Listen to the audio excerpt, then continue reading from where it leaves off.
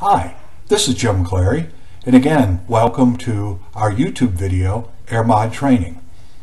In this video, Sarah will first describe the input file, then we'll give you the opportunity to pause your computer while you get to your modeling example directory and get ready to execute it, and then you can follow her along as we go through the execution using that input file to generate an input file that will be used later on in the AERMOD system.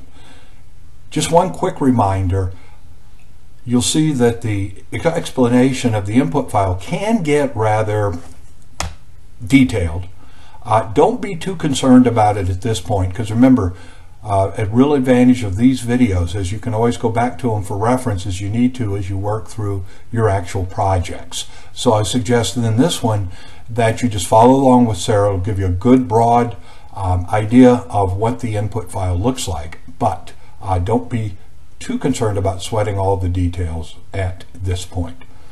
Without further ado, I'll turn it over to Sarah. I'm Sarah with AERMODTraining.com. I'm going to show you how to set up and run AERMET in this training video. AERMOD requires meteorological data that are generated using AERMET. Before you can run AERMET, you will need to generate the surface characteristics using AERSURFACE and the 1-minute ASOS wind data from AERMINUTE. For more detailed information on these preprocessors, please see our videos on how to set up and run AERMINUTE and AERSURFACE. AERMET is the only preprocessor that is split into three different stages. AERMET is EPA's meteorological data preprocessor for the AERMOD model. AERMET processes freely available National Weather Service data or site-specific meteorological data. AERMET generates a surface and profile meteorological data files that are read by AERMOD. And the example we're going over is based on data from 2014, the hourly surface data and one-minute wind data are from the San Luis Valley Regional Airport slash Bergman Field located in Alamosa, Colorado. The upper air data are from the Grand Junction Regional Airport located in Grand Junction, Colorado. As mentioned, AERMET is split into three stages and each stage has its own input file. We'll go over those input files now and then we'll go run AERMET. The AERMET Stage 1 input file is named ALS underscore 2014 underscore S1.inp. This stage extracts and quality assures the upper air sounding data and standard hourly surface data. This input file is grouped into four sections. The job section is where you specify the information that is used throughout the entire run, the upper air section is where the National Weather Service upper air sounding data will be extracted and quality assured. The surface section is where you extract and quality assure the National Weather Service hourly surface meteorological data. The on-site section is where you would extract and quality assure the site-specific hourly surface observations. The on-site section is optional and is only needed if you have site-specific surface observations. We are not using site-specific data in our example, so this section can be omitted. The report keyword is used to specify the file name where all the summary information is written, and the messages keyword specifies the file name where any error, warning, and informational messages are written. Under the data keyword, first list the file that contains the upper air sounding data. Our file is located in the UA folder, so we include that in the file name. Next, list the data file format. The data are in the Forecast Systems Laboratory, or FSL, format. The extract keyword is used to specify the file name where the extracted sounding data will be written. The xdates keyword is used to define the period that you would want to extract from the sounding data. Keep in mind that we need to convert the data from Greenwich time to local time, so note that we included January 1st from 2015. Under the location keyword, first list the 5-digit WBAN ID, then list the latitude and longitude, follow it by the time adjustment, which is the number of time zones the facility is away from Greenwich time. Areas west of Greenwich will have a positive time adjustment. Our example facility is seven time zones to the west of Greenwich. The QA out keyword is where you specify the file name where the quality assured upper air sounding data will be written.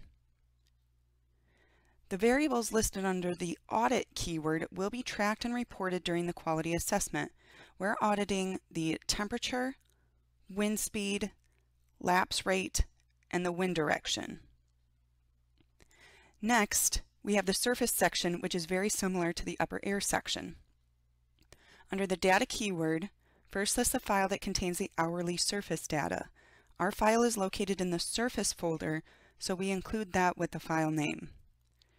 Next, list the data format, which are in the Integrated Surface Hourly Data or ISHD format. Next, the extract keyword is used to specify the file name where the extracted surface data will be written. We define the same extraction dates as the upper air section. Under the location keyword, we list the five-digit WBAN ID, followed by the latitude and longitude, then the time zone adjustment, then the elevation in meters of the meteorological station. The QA out keyword is where you specify the file name that will contain the quality assured surface data. The file names that are defined with the QA out keyword become the input files in the stage 2 processing. The variables listed under the audit keyword will be tracked and reported during the quality assessment. We're auditing the sea level pressure, station pressure, ceiling height, sky cover, present weather, ASOS sky condition, horizontal visibility, dry bulb temperature, and the relative humidity. The no missing keyword is used to suppress missing data messages. We chose to suppress the messages for the station pressure. The stage 2 input file name is ALS underscore 2014 underscore s2.imp. The only purpose of stage 2 is to merge the surface, 1 minute ASOS, and upper air data into a single file. There can be six sections in the stage 2 input file, but again the on-site section is optional and is only needed if you have site-specific data, so we have five sections listed here. The job section is where you specify the information that is used throughout the entire run, and the upper air section is where you specify the upper air sounding data file. The surface section is where you specify the hourly surface observations data file, and the ASOS 1 min section is where you specify the 1 minute ASOS wind data file. The merge section is where you specify the output file information. The report keyword is used to specify the file name where all the summary information is written, and the messages keyword specifies the file name where all the error, warning, and informational messages are written. The QA out keyword specifies the files with quality assured upper air sounding and hourly surface observation data. Both of these files are generated in the stage 1 processing. Next is the file with the 1 minute ASOS wind data. This is the file that is output by AERMINUTE, and that's why you need to run AERMINUTE before you can run AERMET. In the Merge section, define the output file name under the output keyword. This file will be input into the Stage 3 processing. Then, specify the dates that you want to have for the modeling under the X dates keyword. The data was converted to local time in Stage 1, so we don't need to include data from 2015 anymore, and our data period is from January 1st to December 31st, 2014. The stage 3 input file name is ALS underscore 2014 underscore S3.imp. Stage 3 processes the meteorological data and generates the surface and profile meteorological data files that will be input into AERMOD. Stage 3 has two sections, the job section is where you specify the information that is used throughout the entire run, and the MET prep section is where you specify the meteorological processing options. The report keyword is used to specify the file name where all the summary information is written, and the messages keyword specifies the file name where all of the errors, warning, and informational messages are written.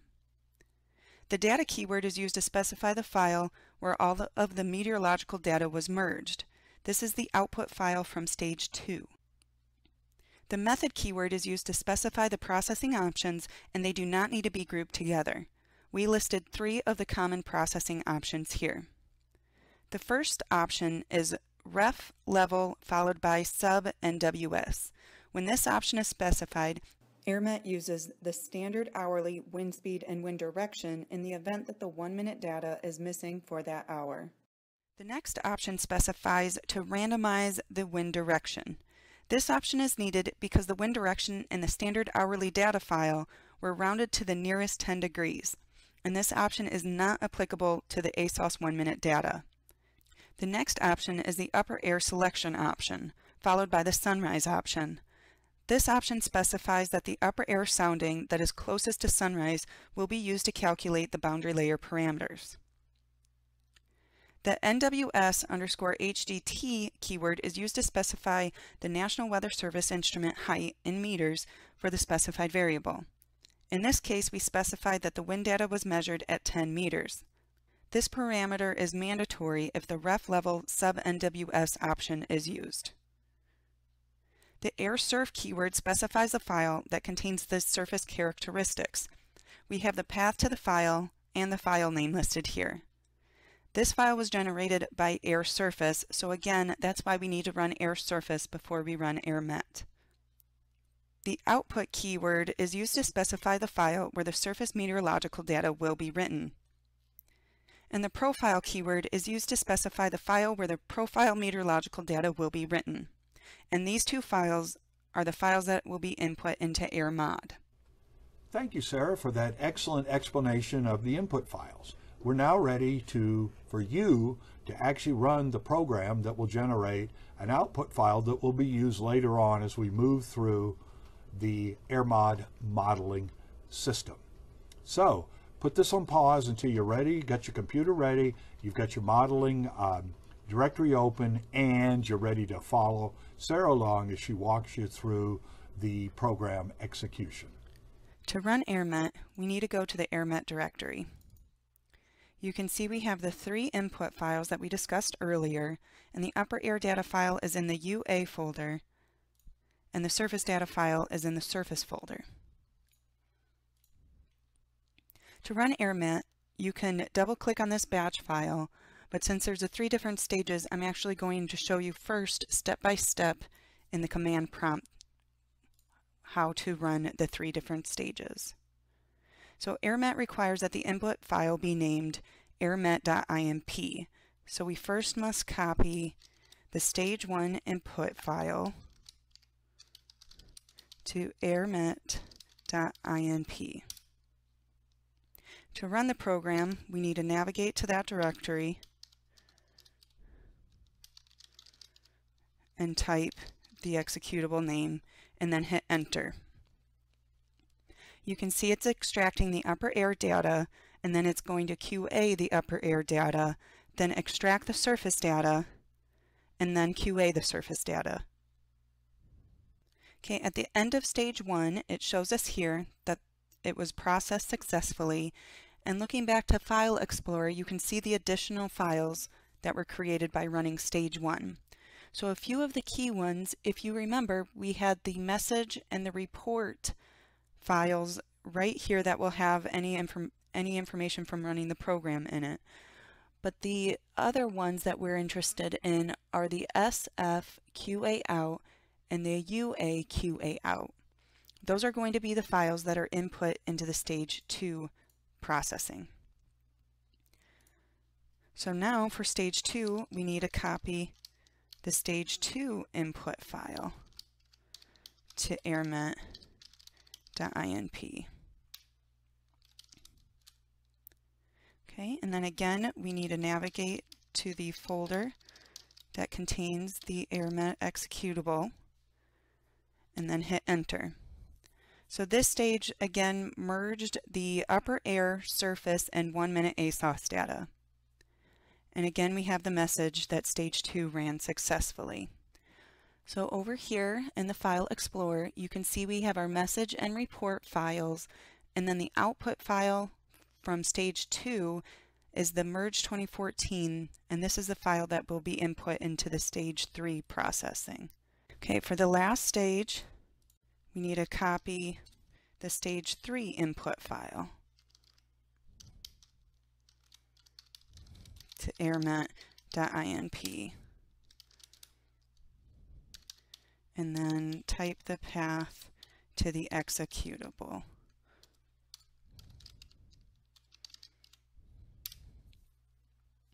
And this is where the meteorological data is processed and we're shown that it was processed successfully. And it's at this point I also like to delete the aermet.inp file just to clear up the folder. So going back to File Explorer, the Stage 3 also generates the two input files that will be read by AERMOD. So we have the ALS 2014.pfl and .sfc files here. And then as mentioned, you can use the batch file to run the program and it will quickly go through all the options. So I'm just going to double click it here so you can see how fast it goes.